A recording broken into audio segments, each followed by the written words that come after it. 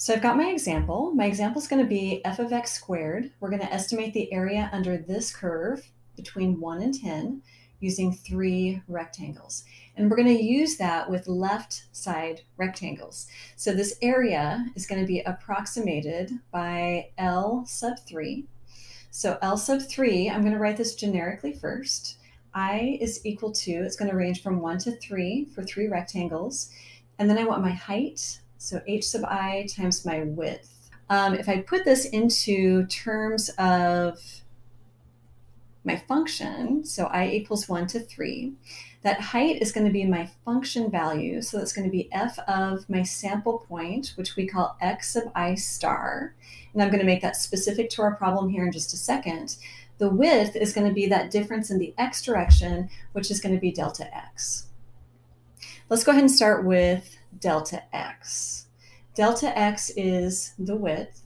I'm taking that interval from 1 to 10 and dividing it into 3. So I'm going to do 10 minus 1 divided by 3. That's going to be 9 divided by 3, which is 3. So that interval width is going to be 3, which tells me that I've got endpoints starting at 1. Add 3 and I get 4, 7, and 10. Let's go ahead and put that onto our graph. 1, 4, 7, and 10. So I've got 1 there and 10 there. Next, let's do the height. The height is going to be my function value on the left-hand side. So if I build these onto my graph, my first rectangle is going to go up to the function at 1 and then create a rectangle from there. The next rectangle is going to have a height at 4 and then over to 7. And then that last rectangle is going to have a height at 7 and then over to that last endpoint of 10.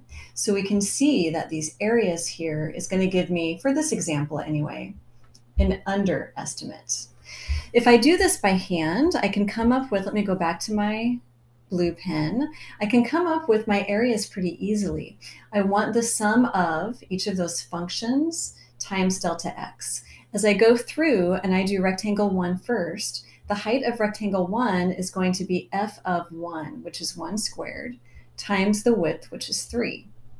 Next rectangle, so now I'm at the second rectangle, um, its height is going to be 4 squared, so 4 squared, which is 16 times 3. And then that last height is going to be 7 squared. So plus 7 squared plus 3. I can do this by hand. Um, if I pull that 3 out, I get 1 plus 16 plus 49 times 3. I'm going to let that calculator do the math. And in parentheses, I've got 1 plus 16 plus 49, parenthesis times 3. And we get 198. So I'm approximating that area with an area of 198.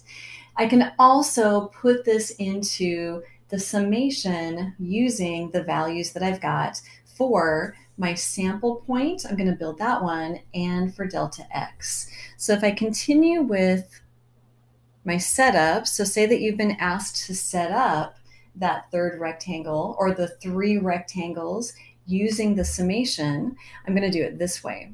So I still want i equals 1 to 3 f of x sub i. So that's going to be my function squared times delta x. I already have delta x. Delta x is 3. Inside those parentheses, I'm going to put x sub i star, which is my sample point. Let's go ahead and do the sample point computation up here in terms of i. So x sub i star, I need to get to the left-hand endpoints, 1, 4, and 7. Well, to get to 1, I'm going to start at 1, and I'm going to add none of my delta x's.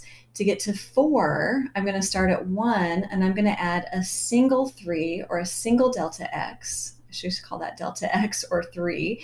And then to get to the 7, I'm going to add 2 of my delta x's, 2 delta x's. So that tells me that I really want to add delta x's, but one less. So I'm going to go 1 plus delta x. And if I do i minus 1, that's going to work out perfectly. Uh, delta x is 3, so in terms of our problem, delta x is 3, and then i minus 1.